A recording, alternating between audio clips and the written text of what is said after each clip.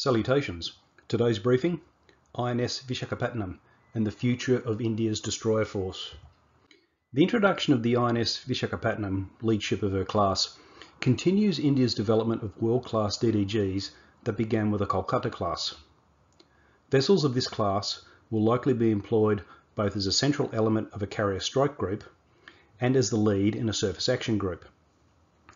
The Indian Navy operates a force of 10 DDGs, for reference, the Royal Navy operates six DDGs, the French Navy between two and four, depending on how one classifies the two FREMM air warfare vessels, the Italian Navy somewhere between two and eight, again depending on how one classifies the FREMMs, and the Japanese Maritime Self-Defense Force with 19 modern DDGs. What next for the Navy's DDG force? Will it be evolution or revolution? Project 15B Visakhapatnam class, a successor to and evolution of the Type 15A Kolkata class destroyers. The Visakhapatnam class will consist of four vessels, the first commissioned in 2021 and the final ship planned to be commissioned in 2024, armed with 16 BrahMos, 32 Barak 8 missiles, four Varunastra heavyweight torpedo tubes, two helicopters, 176mm gun and four close-in weapon systems.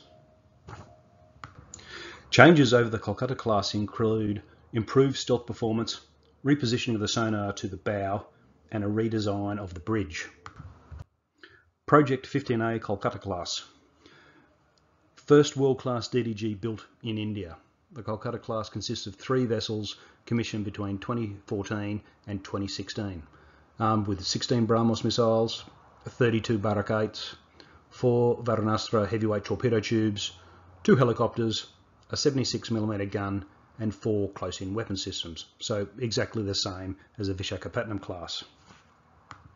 Although much more capable than the preceding Delhi class, it does draw its lineage from them. Project 15 Delhi class. The Delhi class represented a major development and led the way for the future of India's DDG force. Not only are they larger and more capable than the preceding Rajput class, they are also built in India, representing a critical first step in India's DDG force self-sufficiency. The class consists of three vessels commissioned between 1997 and 2001, armed with 8 BrahMos, 32 Barak 1s, 5 Varunastra heavyweight torpedo tubes, 2 helicopters, 1 100mm gun and 2 close-in weapon systems. Note the figures given are for the upgraded Delhi class and not all share the same configuration. We'll now look at the key modern weapon systems on these vessels, starting with BrahMos. BrahMos is the primary surface-launched attack missile of the Indian Navy for both ship and land targets and is a joint Indian-Russian program. For comparison, it has very high speed, especially when compared to Western equivalents, greater than Mach 3 vice subsonic for the Western equivalents. It is longer and has greater diameter than the Tomahawk cruise missile, but has a smaller warhead. Its warhead is of a similar size to that found on the Harpoon anti-ship missiles, which is subsonic and much shorter range than BrahMos. India continues to develop the BrahMos, in particular extending its range. SAM systems. India's frontline ship-based SAM system is the Barak 8, jointly developed with Israel and a development of the Barak 1. Currently with a range of up to 100 kilometres, longer range versions are under development. One of the strengths of India's modern DDGs, the Delhi, Kolkata and Visakhapatnam classes, is the dual large hangar configuration, each able to accommodate a Sea King, a good sized and very capable anti-submarine warfare helicopter. Moving forward, it is likely India will replace the Sea Kings on the DDGs with the MH-60 Romeos, further improving the vessel's anti-submarine warfare capabilities. The other key anti-submarine warfare weapon system found on these DDGs are the Varunastra heavyweight torpedo tubes.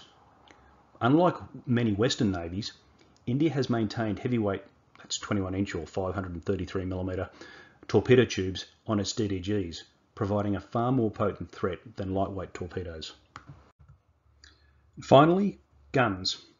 The DDGs briefed here are armed with either a 76mm or 100mm gun. Although the Visakhapatnam class were originally to have been armed with a 127mm or 5-inch gun, that was cancelled, suggesting India looks at the DDG's main gun as having a significant air defence role.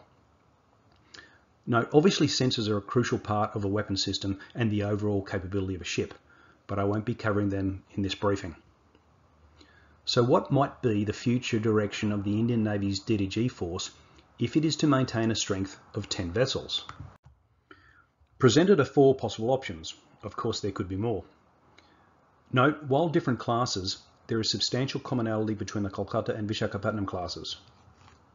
Also, we don't yet know what the Project 18 DDG will look like, but we should expect it to be significantly different to the Project 15B. Option 1 three new build modified Project 15Bs with a universal vertical launch system of at least 48 cells capable of launching the latest versions of BrahMos and Barak 8 in front of the bridge, together with the new close-in weapon systems. These would replace the three Delhi class, with the Kolkata and Visakhapatnam classes remaining as is. The pros in this option are platform commonality with savings used for growth in other areas of the Navy, for example, carriers and or SSNs. Cons, there are different levels of capability across the DDG force and probably no new DDG class for around 20 years. Assessment, lowest risk and cheapest option. Option 2, three modified Project 15Bs and upgraded Kolkata and Visakhapatnam classes with the same universal VLS and new weapon system, uh, close-in weapon systems as the new vessels. Pros, all vessels are equally capable. There are no tiers or levels of capability. Commonality across the fleet, essentially one class, with savings reinvested across the fleet. Cons, again, probably no new DDG class for around 20 years. Assessment, low risk, but more expensive than option one. Option three, three Project 18s to replace the Delhi class with the Kolkata and Visakhapatnam classes remaining as is. Pros, three far more capable vessels than the other seven DDGs. Cons, small class size of three for the new class, so limited economies of scale in production, and two different classes and two different tiers of DDGs in the Indian Navy force. Assessment, moderate risk and more expensive than option two. Option 4, six Project 18s to replace the Delhi and Kolkata classes. The pros, it's a most capable mix over the entire DDG force. The cons, two very distinct classes. Assessment, moderate risk and most expensive option. How will India weigh up the potential resource allocation question of replacing DDGs vice a third aircraft carrier and or new SSNs? If India wants the strongest DDG force, at the probable detriment of fleet balance, then option 4 is likely. If India wants a very capable DDG force and more balanced fleet, then option 2 may be the way forward.